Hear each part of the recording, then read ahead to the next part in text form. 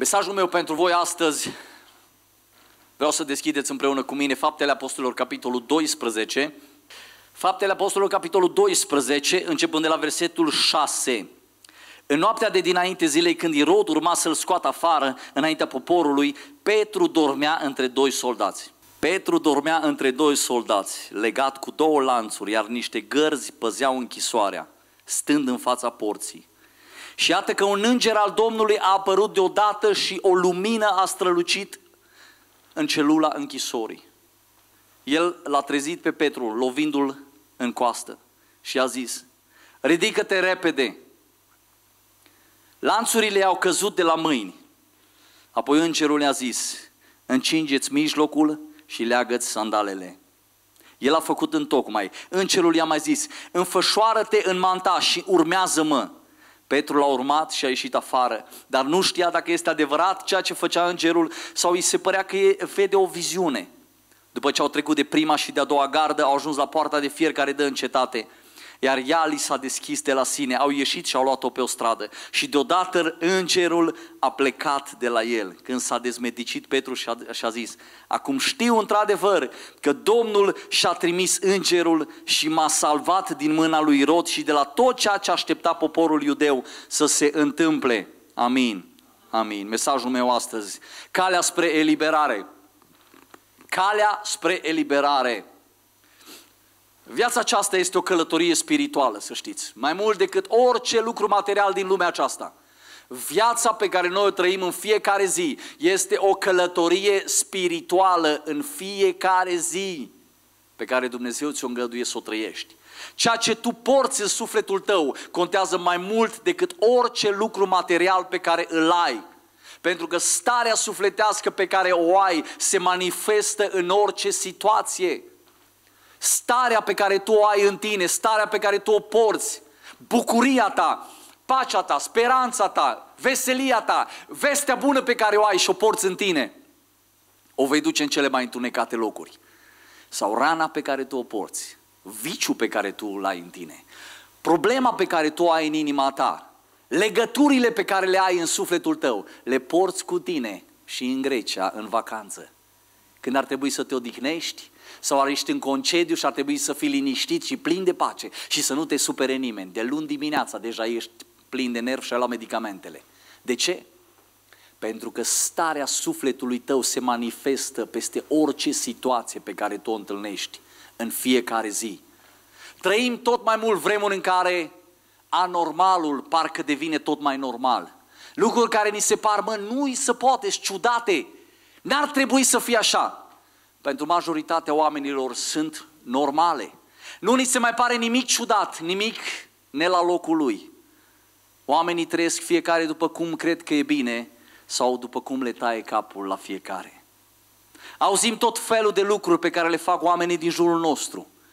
Ne mirăm și nu înțelegem. Bă, dar cum s-a putut întâmpla una ca asta, mă? Cum mă s-a putut face asta, mă? Ai auzit mă la televizor, ai auzit mă că a murit fata respectivă, ai auzit mă de accidentul ăla, ai auzit mă că s-a închis fabrica, ai auzit mă de ăia mă că au făcut așa și așa și așa. Cum se poate întâmpla una ca asta? E bine să întâmplă, e bine să poate.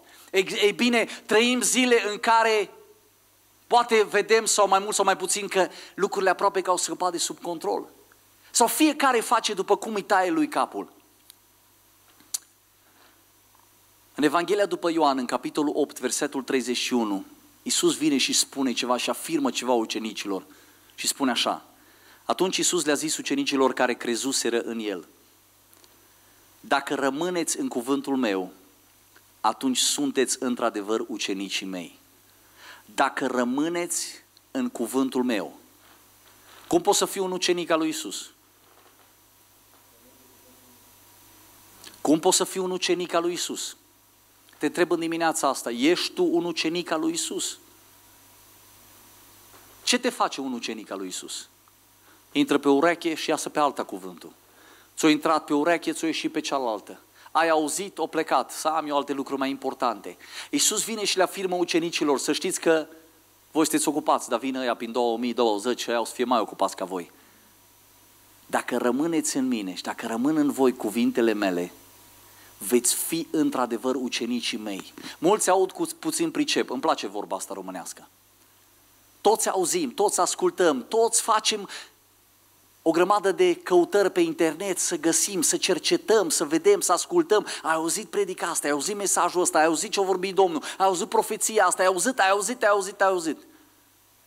Și Iisus a spus, nu contează cine aude, nu contează cum auzi, nu contează cine spune.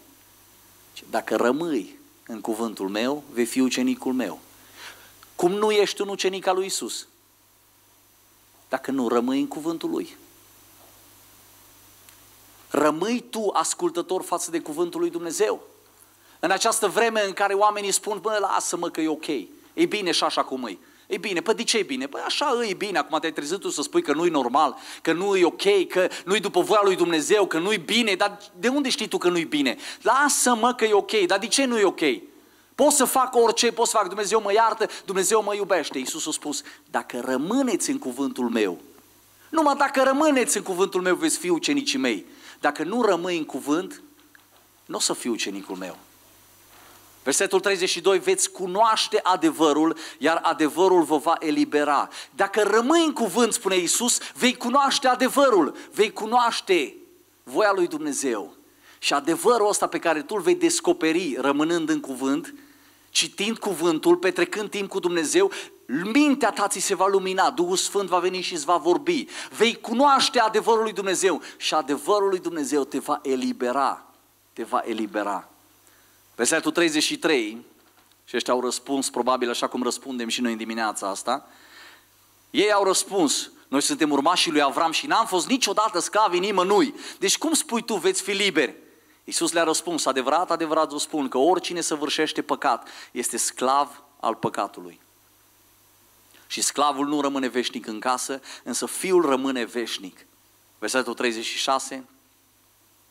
Deci dacă fiul vă eliberează, veți fi cu adevărat liberi. Închipuiți-vă voi ce s-a întâmplat acolo. Iisus vine și spune, veți cunoaște adevărul și adevărul vă va elibera. Doar pe ce să ne libereze? Doar nu suntem legați. Cine e legat? Mă, ești legat? Nu ești legat. Eu fac ce vreau eu toată ziua. Toată ziua fac ceva, nu mă leagă nimeni pe mine, niciodată nu o să mă lege nimeni. Du-te la oricare om pe stradă și spune, băi, tu ești legat? Ai vreo legătură peste viața ta? Ai vreo problemă care te ține și nu te lasă să faci ceea ce vrei? Nu, băi, eu fac numai ce vreau eu. Ce îmi taie mie capul? Și Iisus vine și spune să credeți voi că nu sunteți legați. Pentru că sunt atât de multe lucruri care te leagă. Și atunci când lucrurile astea te leagă, îți leagă mâinile sau îți leagă gura și ai vrea să spui, dar nu poți să spui. Ai vrea să te duci, dar nu poți să te duci pentru că ești legat. Ai vrea să faci niște lucruri, dar nu poți să le faci pentru că ți-s legate mâinile. Legături și o să exprim imediat mult mai multe chestii și mai multe detalii ca să înțelegeți clar. Iisus vine și spune, ascultă-mă, sunt anumite lucruri care te leagă pe tine în sufletul tău și nu o să te mai poți comporta liber nu o să mai poți să spui ceea ce trebuie într-un mod liber. Nu o să mai poți să faci anumite lucruri într-un mod liber. Vei fi legat și când ești legat, vei fi controlat. Pacea sau stresul din sufletul tău este cel care te conduce și te stăpânește. Vă rog să fiți foarte atenți la afirmația asta. Pacea pe care o porți sau stresul pe care tu îl porți sau frica pe care tu o porți în tine – Lucrurile astea te controlează în fiecare zi. Te vor conduce ca și pe un om legat, ca și pe o mașină de aia teleghidată. Te vor duce numai unde vor ele ca tu să ajungi. De asta e foarte important ce porți tu în sufletul tău și când vorbesc aici despre cale spre eliberare, nu vorbesc despre trupul ăsta de a fi eliberat, vorbesc despre un suflet liber, un suflet eliberat un suflet care nu, nu este legat de vorbe, nu este legat de răni, nu este legat de lucruri care cineva ți le-a făcut, nu este legat de abuzuri, nu este legat de altceva. Și poate să trăiască fericit și liber. În 1 Petru, capitolul 3, cu versetul 10, spune așa, că cel ce dorește să aibă parte de zile și vrea să vadă zile bune, să-și păzească limba de rău și buzele de cuvinte înșelătoare, să renunțe la rău și să facă binele. Și ascultați, să caute pacea și să o urmărească. Să caute pacea în sufletul lui. E bine să cauți pacea, dar trebuie să o găsești. Nu de ajuns că tu o cauți, nu de ajuns că tu te închizi într-o cameră și spui nu mai vreau să am de-a face cu nimeni, vreau să fiu liniștit și plin de pace. Nu acolo e pacea. Nu acolo e pacea. Vrei 12 cu 14, urmăriți cu toții pacea și sfințirea, fără de care nimeni nu-L va vedea pe Dumnezeu. Tu crezi că alergi în fiecare zi și o să fie bine. Dar ascultă-mă, dacă nu ai pace, dacă nu porți pace în sufletul tău și în inima ta, nu o să fii bine, nu o să fii bine deloc. O să ajungi la punctul extrem în care o să spui nu mai rezist, nu mai rezist. O să-mi pun capăt zilelor. De ce? Pentru că vreau să fiu liniștit, vreau să fiu plin de pace, vreau să fiu liber. Și libertatea asta vine dintr-un singur loc, dintr-un singur loc. La fel spune și Isus, când privește spre Ierusalim înainte să fie răstignit, se uită la Ierusalim și spune așa, în Evanghelia după Luca, capitolul 19, cu versetul 42, dacă ai fi cunoscut și tu în ziua aceasta lucrurile care îți puteau aduce pacea. Dar acum ele sunt ascunse de ochii tăi. Ce interesant spune. Dacă ai fi cunoscut lucrurile care îți vor aduce pace, lucrurile care îți vor aduce viață, să te hrănești cu ele în fiecare zi și să spui, sunt plin de pace, sunt plin de viață, sunt plin de speranță, trăiesc în fiecare zi, mă bucur în fiecare zi, dar ascultă-mă, lucrurile astea sunt mai mult decât ceea ce este omenesc, decât ceea ce pot să ofer eu sau decât ceea ce lumea materială poate să-ți ofere. Iisus vine la ucenici și le spune în felul următor, Ioan 14 cu 27, vă las pace, vă dau pacea mea, nu vă dau așa cum o dă lumea, să nu vi se tulbure inima, nici să nu se înspăimânte. Vine Isus și le spune ucenicilor, ascultă-mă, nu o să găsiți pace în lume. De ce? Pentru că pacea sufletească este ceva ce numai Dumnezeu poate să dea. Poți să te duci la munte și poți să te duci în pădure și poți să-ți faci o cameră de un metru pe metru și să stai liniștit și să privești cerul. Că gândurile, problemele, necazurile, abuzurile, regăturile, tot ceea ce a fost în viața ta, sunt acolo cu tine. Pacea despre care vorbesc, pacea de care sufletul nostru are nevoie, vine dintr-un singur loc, de la Isus Hristos. O zis Isus către ucenici, vă dau pace, dar nu vă dau așa cum o dă lumea. Lumea ce zice? Bă, vreți să fii liniștit și plin de pace? Separă-te, du-te singur, ia bani cu tine și o să fii liniștit și plin de pace o mie de ani trăiește și bucură-te. Nu e adevărat. Iisus Hristos spune, vă dau eu pacea de la mine. Știți ce înseamnă asta? Că Dumnezeu este în controlul situațiilor și a lucrurilor. Când tu te trezești dimineața, nu ești agitat, nu ești plin de frică, nu ești plin de teamă, pentru că există ceva mai măreț decât omul. O forță, există o persoană, Dumnezeu, care stăpânește și controlează situațiile și atunci tu spui, stau liniștit că Dumnezeu este cu mine. De acolo vine pacea. În momentul când ai scos din ecuație pe Dumnezeu, când nu-i Dumnezeu cu tine acolo prezent și prezența Lui să fie reală pentru tine, atunci ți frică. Spui, dacă nu fac lucrul ăsta, o să fie problemă mare. Dacă nu plătesc asta, dacă nu mă duc acolo, o să fie problemă mare. Dar când îl ai pe Dumnezeu cu tine, știi că Dumnezeu este deasupra tuturor. El controlează calendarul. El controlează programul. El stăpânește și știi că atunci când Dumnezeu merge cu tine, poți să stai liniștit că o să fie bine. Mă întorc la textul pe care vi l-am citit cu Apostolul Petru, care într-o vreme bună, într-o vreme frumoasă, într-o vreme când se bucurau de lucrarea lui Dumnezeu și Duhul Sfânt lucra cu putere și oamenii erau vindecați și oamenii erau mântuiți și era extraordinar. Împăratul Irod pune mâna pe Apostolul Petru și îl bagă în închisoare. Și vedeți, vreau să privim la exemplul ăsta și la felul în care el a fost prins și legat și la felul în care el a fost eliberat. Și să privim ca o asemănare de felul în care noi suntem legați în viața noastră. Și umblăm legați, zile și an după an, umblăm legați și stăm legați și nu putem să facem ce vrem. Și să privești la felul în care Dumnezeu vine în ajutorul tău ca să te elibereze. Numai să vrei. Felul în care Dumnezeu vine să te elibereze. Primul lucru, Satan va încerca cu orice preț să te lege. Datorită păcatului care este în lume și în viața oamenilor, Satan are putere să lege pe oameni.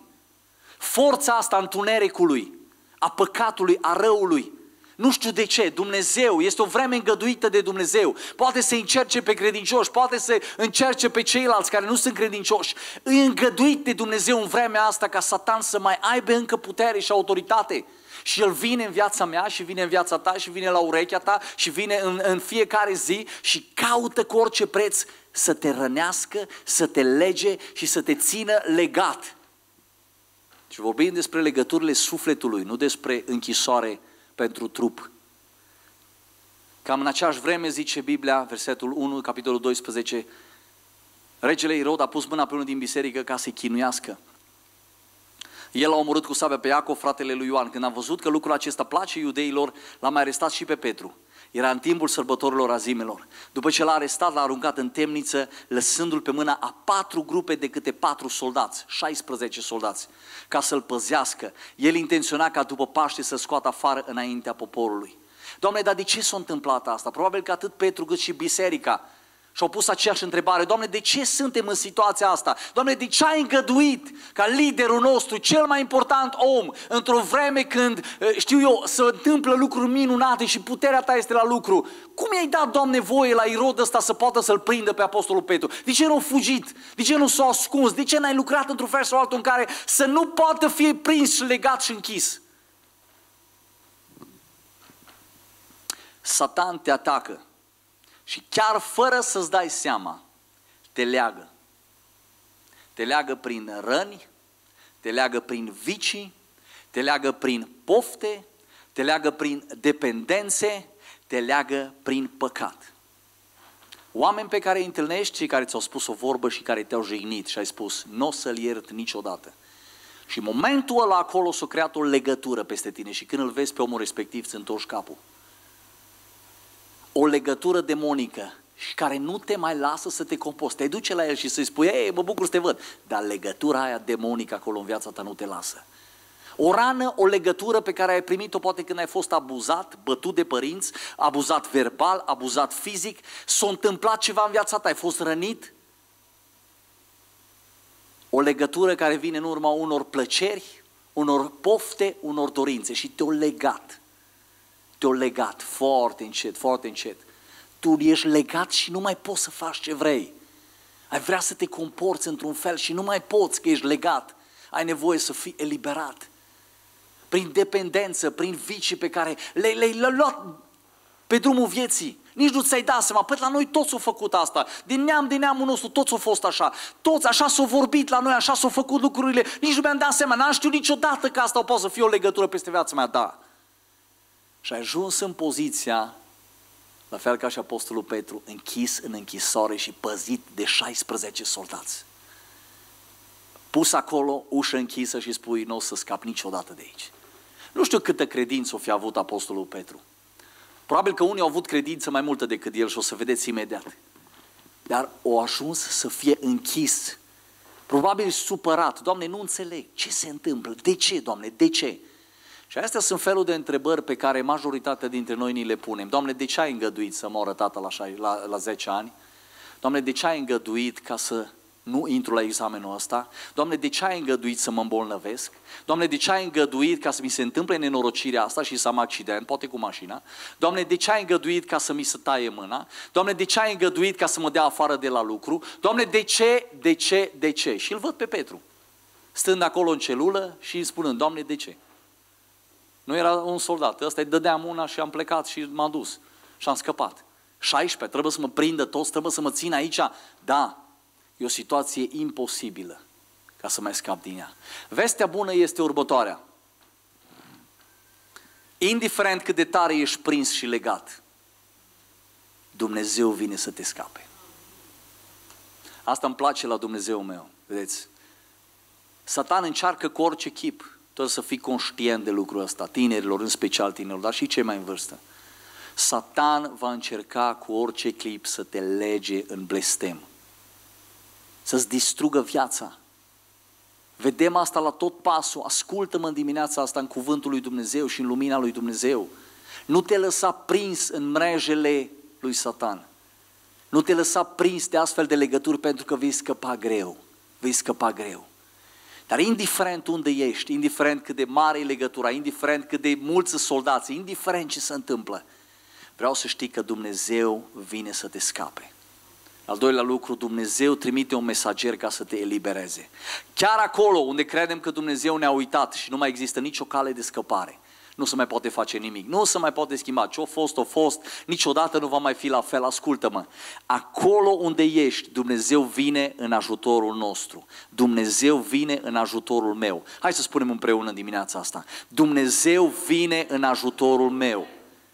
Dumnezeu vine în ajutorul meu. Dumnezeu vine în ajutor pentru că cineva se roagă. Și vreau să vedem aici dintr-o altă perspectivă. Ne rugăm și o să fie bine. Ne rugăm și Dumnezeu să asculte rugăciunile noastre. Dumnezeu vine în ajutorul meu și al tău pentru că cineva se roagă. Pentru că cineva se roagă pentru tine sau poate tu trebuie să te rogi pentru alții. Ceea ce mi s-a părut extraordinar este că Petru dormea.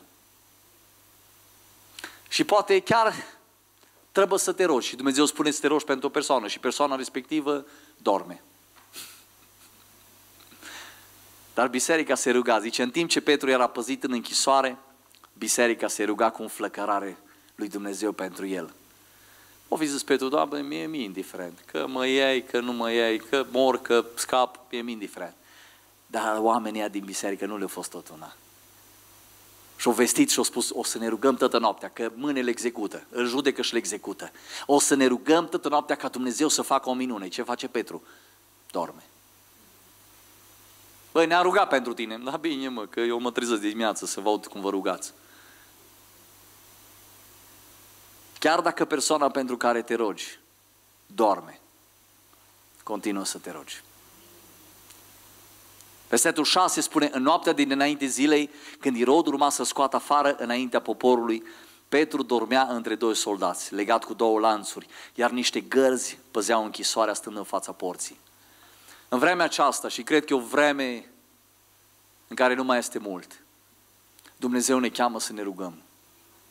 Chiar dacă persoanele pentru care ne rugăm dorm, ceea ce înseamnă indiferență, ceea ce înseamnă nepăsare, ceea ce înseamnă neglijare, ceea ce înseamnă să nu prețuiești ceea ce poate face Dumnezeu. Chiar pentru persoanele care dorm, Dumnezeu ne cheamă să ne rugăm. De fapt, pentru ăia ne cheamă Dumnezeu să ne rugăm. Și nu trebuie să neglijăm în vremea aceasta rugăciunea. De ce? Pentru că atunci când te rogi, Dumnezeu trimite un înger.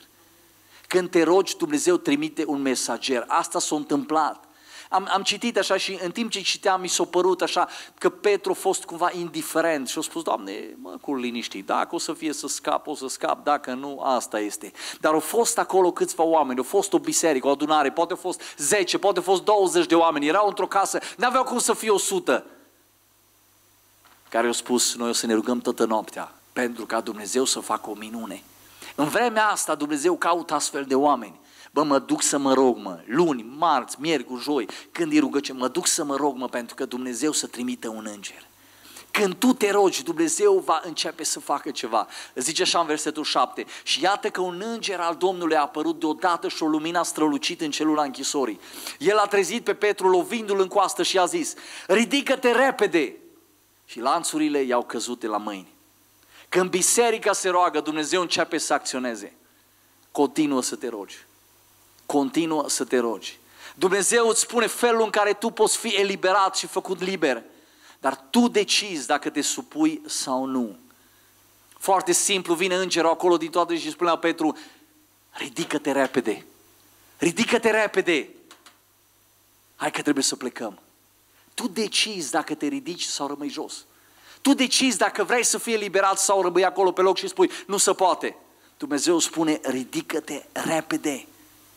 Ridică-te pentru că îngerul va avea grijă de legături, de lanțurile astea. Doamne, dar m-aș ridica, Doamne, m-aș ridica, dar cum să mă ridic dacă sunt legat? Cum să fac lucrurile astea dacă Cum să scape dacă e legat? Cum se poate întâmpla să, să, să plece de acolo dacă el e legat? N-are cum, n-are nicio șansă, nicio șansă. Ridică-te. S-a ridicat, dar e legat, să treză soldații. Adică să mi se întâmple ceva și mai rău, mai bine stau așa că e ok, supraviețuiesc. Dacă mă ridic în picioare, fac gălăgie să trezesc soldații și am probleme. Dumnezeu spune, ridică-te. Pentru că atunci când tu te ridici, atunci când tu iei atitudine, lanțurile cad, lanțurile se rup. Mi-a plăcut așa de mult chestia asta. Zice în versetul 8, în ziua aceea zice Domnul știrilor, de fapt Ieremia, capitolul 30 cu versetul 8, voi sfărâma jugul de pe gâtul lor și le voi rupe legăturile și străinii nu-i vor mai înrobi Cuvântul lui Dumnezeu va rupe orice legătură demonică de peste viața ta. În cartea Naum, versetul 13 din capitolul 1. Acum, voi zdrobi jugul lor de pe tine și îți voi rupe legăturile. Voi rupe legăturile. Trebuie să crezi lucrul acesta. Dumnezeu poate să rupă legăturile. Și al treilea lucru, îngerul spune, vrei să fii liber, trebuie să mă asculți. Urmează instrucțiunile și vei fi liber. Câteodată credem că putem să facem ce vrem, dar adevărul este că nu putem să facem ce vrem. Te uiți înapoi și spui, mă, au trecut un an de zile, dacă mă uit înapoi la câți bani am făcut anul ăsta și câți am risipit, Doamne, iartă-mă. Aș fi vrut să fac altceva, aș fi vrut să strâng banii ăia. Aș fi vrut poate să-mi cumpăr o altă mașină sau să pun eu la banii de casă sau să iau un împrumut sau să fac ceva, să realizez ceva, dar n-am putut. De ce n-ai putut? Ai vrut să faci ceva și n-ai putut să faci. Ai vrut să zici ceva și n-ai putut să zici. Ai vrut să te comporți într-un fel și n-ai putut să te comporți. De ce n-ai putut să faci lucrurile astea? Pentru că ai fost legat. Pentru că ai fost legat. Și când ești legat, faci numai ceea ce te lasă să faci. Nu faci ceea ce vrei tu. Versetul 7, capitolul 12 spune așa, Iată că un înger al Domnului a apărut deodată și o lumină a strălucit în celula închisorii. El a trezit pe Petru lovindu-l în coastă și a zis, ridică-te repede, lanțurile i-au căzut de la mâini. Apoi îngerul le-a zis, încingeți mijlocul și leagă sandalele. El a făcut în tocmai. Îngerul i-a mai zis, înfășoară-te în manta și urmează-mă. Vreau să vă uitați la cinci lucruri. Voi plecați astăzi de aici, dar o să plecați și vă așteaptă o săptămână. O săptămână de provocări. Viața ta e a ta, dar nu îți aparține, spunea niște versuri de la o cântare. Te duci și începi să trăiești. Nu intră mine și tine, îi între tine și Dumnezeu. Felul în care tu trăiești, felul în care tu îți consumi viața, felul în care tu îți cheltuiești banii și îți consumi timpul, este între tine și Dumnezeu. Luptele tale sunt ale tale, provocările sunt ale tale, planurile sunt ale tale. Mesajul meu pentru tine în seara asta, vrei să trăiești în biruință și în victorie și să te bucuri de viață? Ascultă-L pe Dumnezeu și urmează-L. Multe legături care le-ai acumulat de-a lungul anilor pot fi rupte și, și zdrobite. Dumnezeu vrea să te elibereze, vrea să te scoată afară din celula aia și să nu-ți mai plângi de milă. Să nu-ți mai plângi de milă și să nu mai dai vina pe alții. Dumnezeu vrea să te scoată afară și să spune, ești liber, du-te. Unde să mă duc? Unde vrei tu, du-te. Ce să fac? Du-te și faci ceva, ești liber. Nu te mai păzește nimeni. Și ascultați-mă cinci lucruri pe care îngerul vine și le spune lui Petru. Cinci lucruri pentru a fi liber, cinci lucruri pentru eliberare. Primul lucru zice, ridică-te repede, scoală-te iute, spune altă traducere. Scoală-te iute. Acum e momentul, acum este timpul tău. În momentul când te-ai ridicat, legăturile au căzut. Eu m-aș ridica, ne motivăm de multe ori și, și ne scuzăm. Eu m-aș ridica, dar nu pot, nu pot, ba da, poți. E, e, e, ceea ce tu trebuie să faci, să te ridici. Știi ce înseamnă asta? Să iei atitudine. Zice, acum, repede, ridică-te, iute, ia atitudine. Sunt lucruri pe care tu le ai în viața ta, le accepti în casa ta, le accepti în viața ta și spui, ok, mă, lasă-mă, că Dumnezeu mă iubește. Lucruri care te distrug, lucruri care te duc în jos. Știi ce spune îngerul lui Petru? Repede. Ia atitudine repede. Vrei să scapi? Da. Ia atitudine, ridică-te repede. Puteai să spună, bă, ridică-te, da, lent, așa, ușor, frumos, încet, să nu-și dea seama ăștia, încet, ai tot timpul la dispoziție, noaptea e lungă. Nu, nu, nu. Dumnezeu spune astăzi, ia atitudine. Acum, astăzi, sunt lucruri în viața ta care te țin legat, care te țin blocat, care te țin în celul acolo. Vrei să fii liber? Ia atitudine și scoate lucrurile acestea din viața ta. Și acum să trec la lucruri specifice. Sunt vorbe pe care tu le spui și n-ar trebui să le spui. Ia atitudine și le spui de astăzi înainte, ia o atitudine și ia o decizie și nu o să mai rostesc cuvintele alea pe gura mea. Sunt lucruri pe care tu le faci, sunt gânduri pe care tu le ai, sunt pofte pe care tu le ai. Dumnezeu spune, ia atitudine astăzi și spui, știi ce? Nu mai mă, în viața mea nu mai. Dar după iartă-mă, știi ce trebuie să spui? Iartă-mă că nu mai fac. Iartă-mă că nu mai fac. Ia atitudine și spui, Doamne, scot afară din casa mea. Sunt oameni, prieteni care au o influență negativă în viața ta. Trebuie să iei atitudine și să spui, nu mă, nu mă mai întâlnesc cu ăla. Nu mă mai întâlnesc, bă, că ăla numai, numai probleme și belele mi-aduce. Nu mă mai întâlnesc.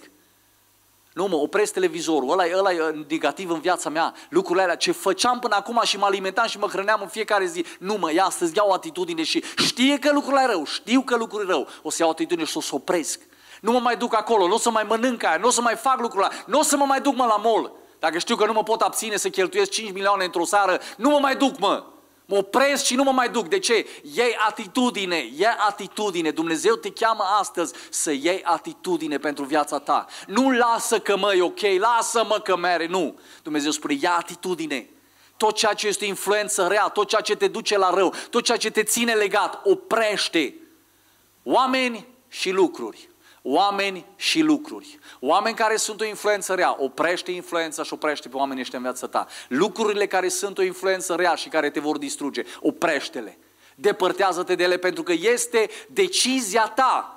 Dumnezeu vine și spune, oprește asta și tu știi ce trebuie să oprești, dar e decizia ta să oprești lucrurile astea. Al doilea lucru spune, încingeți mijlocul și cu asta o să mă duc mai repede. Încingeți mijlocul, spune Biblia, mijlocul să vă fie încins cu adevărul lui Dumnezeu când te încingi, când trăiești în adevărul lui Dumnezeu, când trăiești curat, Dumnezeu spune, stai liniștit, că o să fie bine.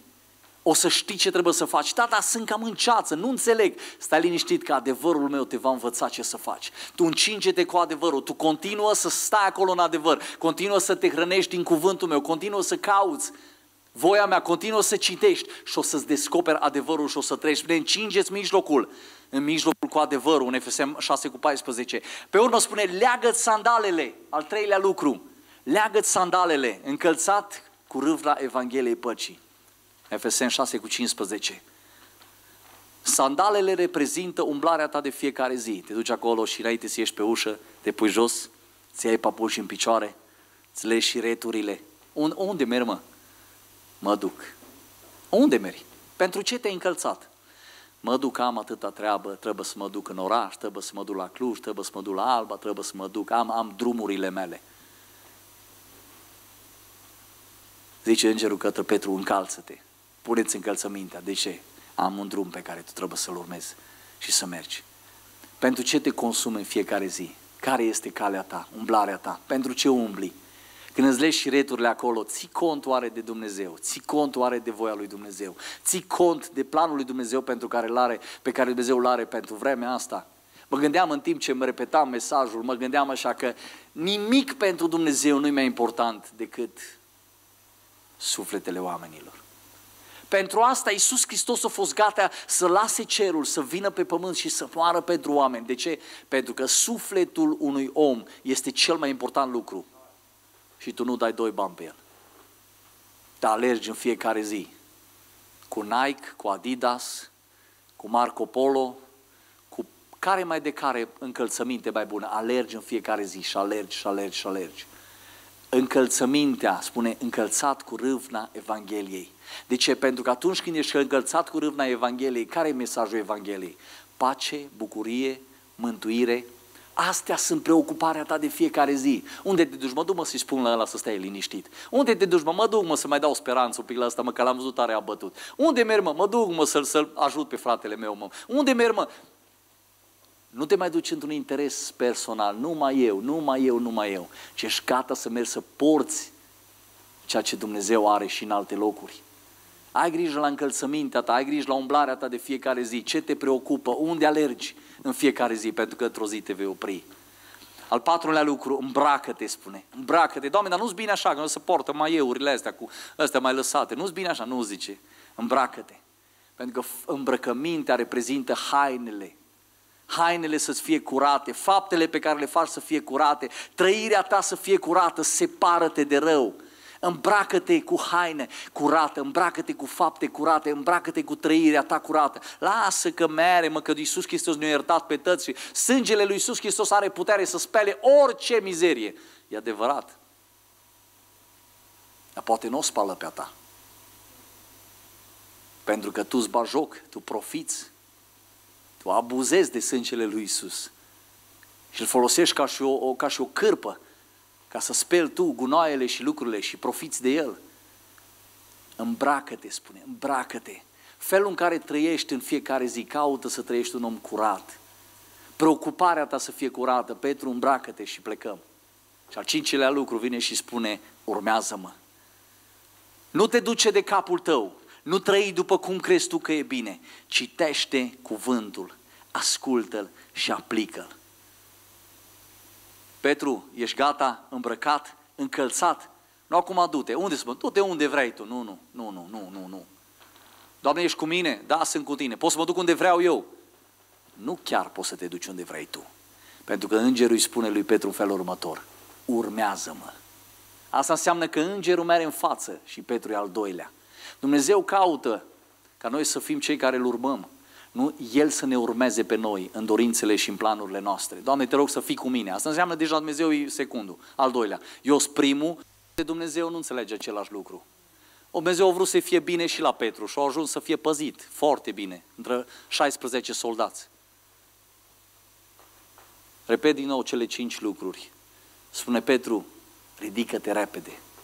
Ia atitudine, ia atitudine, ridică-te repede. Ia atitudine pentru lucrurile care nu sunt ok, nu sunt bune în viața ta, scoate-le afară.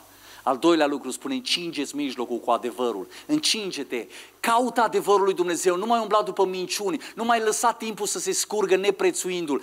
Adevărul lui Dumnezeu, caută să-l cunoști, nu lăsa să treacă o zi fără să nu citești. Leagă sandalele, scuze. Al treilea lucru, leagă sandalele, spune, încălțămintea din picioare. Ai grijă la ceea ce alegi să, să pășești și unde umbli. Al patrulea lucru, îmbracă-te. Și al cincilea lucru, urmează-L pe Dumnezeu. Dacă Petru a fost gata și a fost supus și a fost în stare să spună, sunt aici, te urmez, gata să fac lucrurile astea, tu de ce n-ai putea să faci lucrurile astea? Ascultă-mă în dimineața aceasta, Dumnezeu vrea să te libereze. Numai noi negăm câteodată și spunem, bă, dar eu totul sunt ok, ca și farisei. Cum adică să te liberezi? Doamne, n-am fost robi nimănui, noi suntem ok. Sunt lucruri în viața ta și tu le știi. Tu și Dumnezeu. Dumnezeu vrea să te atingă astăzi. Când ne întâlnim în felul acesta, așteptăm ca prezența lui Dumnezeu să coboare și Dumnezeu să ne atingă sufletele. Vreau să luăm un moment și să ne rugăm în dimineața asta. Dumnezeu vrea să te libereze astăzi. Poate astăzi e ultima ta zi și mâine vei fi judecat. Poate astăzi e ultima ta oportunitate să spui, Doamne, astăzi vreau să fiu eliberat. Poate nu o să te mai întâlnești niciodată cu un mesaj de genul ăsta și o să trăiești toată viața în legătură și în probleme și în necazuri pe care le porți cu tine de ani de zile. Vreau să-ți dau oportunitatea în dimineața asta să spui, Doamne, eu vreau să fiu liber. Eu vreau să fiu eliberat. Am nevoie, Doamne, de lucrurile acestea. Prea mult le pot după mine. Prea mult mă, mă, mă chinuiesc cu păcatele astea, prea mult mă chinuiesc cu oamenii ăștia, prea mult mă chinuiesc cu gândurile astea care le port cu mine de atâta timp. Doamne, astăzi vreau să mă ating și să mă eliberez. Hai să ne ridicăm în picioare.